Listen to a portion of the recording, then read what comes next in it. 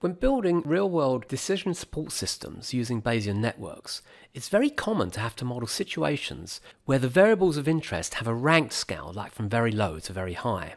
And it's also common for such variables to be dependent on a combination of other variables which are also on a ranked scale. For example, suppose a company is marketing a new consumer product, then the attractiveness to the consumer is an example of a variable that could be on a rank scale from very low to very high. And it's dependent on other variables like quality of packaging and effectiveness of advertising, which are also on a rank scale. Now, whereas typically these types of situations are quite tricky to model in a Bayesian network, the fact that AgenaRisk has a notion of rank nodes makes this type of modeling incredibly easy. So first of all, we'll select the Create New Node, Discrete Node. And if you go into Properties, you can see that there are various selections for node type. What we're going to do is choose Rank Node. Then if you click on node states, you'll see that it automatically provides you with these state options. So it can go by default very low to very high, very high to very low, highest to lowest. And in fact, you can add to these. These are just provided as defaults. Let's just take the five scale default. So apply that. We'll enter a node name here and a unique identifier. Just make this a bit bigger. Now we're simply going to make a copy of that to define the other nodes, but this one, of course, is going to be quality of packaging.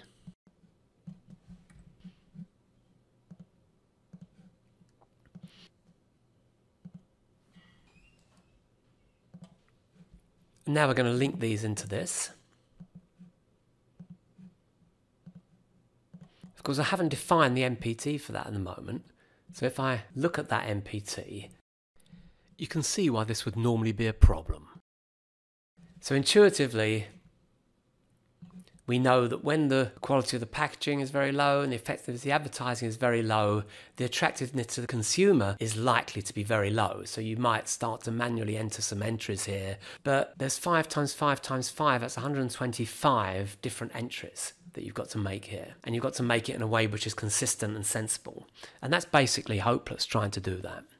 And there's no reason to do it because what we actually know is that generally when these are low, this is going to be low, and when these are high, this is going to be high. And we might have learnt that the effectiveness of the advertising is more important than the quality of the packaging. So if we can think of the underlying rank scale as being a numeric scale, then you can think of this as being some kind of a weighted function of the parents. And in AgenaRisk, the rank nodes always have an underlying numerical scale from 0 to 1. That's what allows us to define the node probability table as an expression.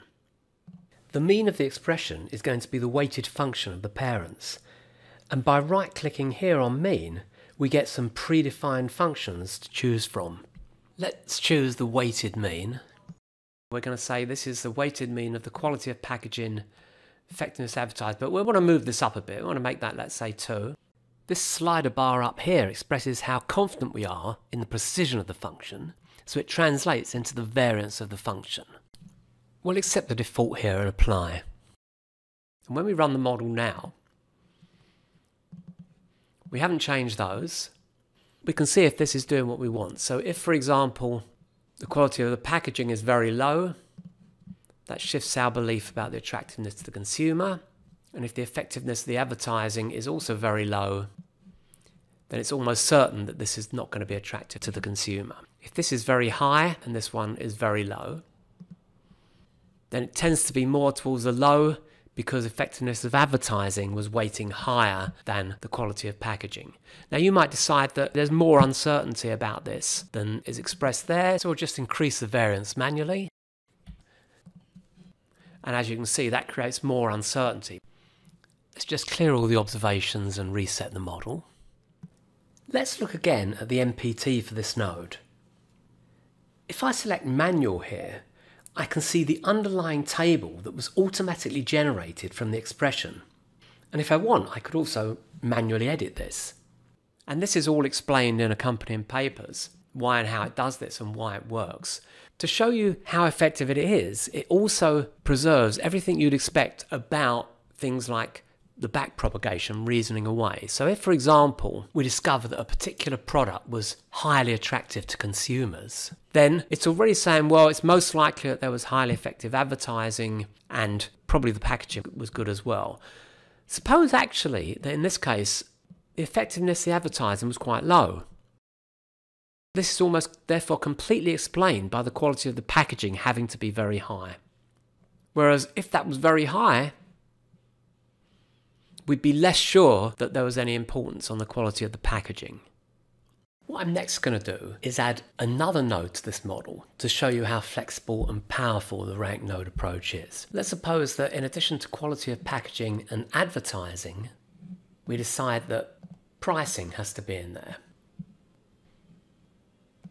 Now this time, to be consistent with the weighted function, we know that pricing has to go from very high to very low to be attractive to the consumer. So we'll simply add that. Of course, now we've got to redefine this NPT. I could simply manually put in the price there with a weighting, or I can just go back to the weighted mean expression and add price, and I might decide that price is the most important thing.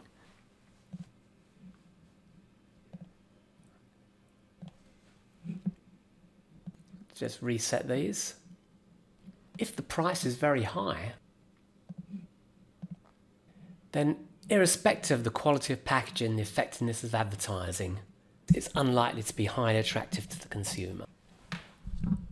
But this still isn't quite right because price has to take account of the quality or the perceived quality of the product.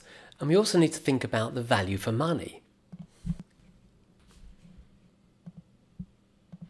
Yeah, we certainly want that to go from very low to very high. And we also want one for perceived quality. We don't want that link there. What we want is value for money to be based on price and perceived quality. And of course, the lower the price and the higher the perceived quality, the greater the value for money. So again, we want to put an expression in here.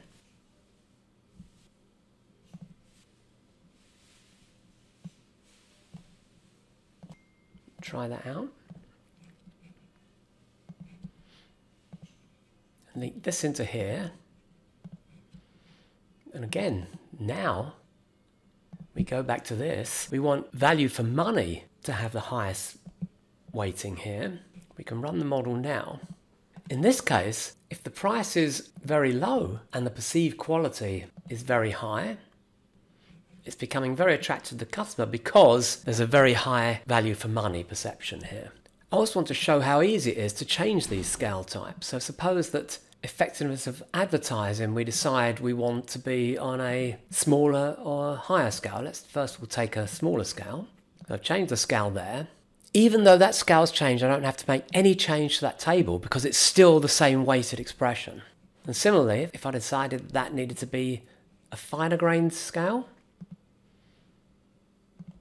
I suppose I even want to add my own thing at the end here. Incredible. When I run the model, everything's there.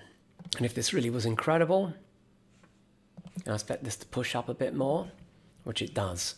And the final point I'll illustrate is how we can also use rank nodes to model indicators of these things. So let's suppose that the effectiveness of the advertising is indirectly measured by, let's say, the number of views of an advertising video. Then what I'm going to do here is to define the expression where the mean now is just the parent. So it's just based on that. But how well the, the number of video views captures our understanding of effectiveness is now completely determined by the variance. If we think that there's a very strong correlation, then we can put a very low variance in here. In that case, given that we've got incredible advertising here, I expect that to be high, which it is. On the other hand, if we think that it's not such a good indicator, I can make that much less certain and run it again and we're much less certain about the video views. If I clear that observation, and let's suppose there are a very high number of video views, then we're much less certain about the effectiveness of the advertising.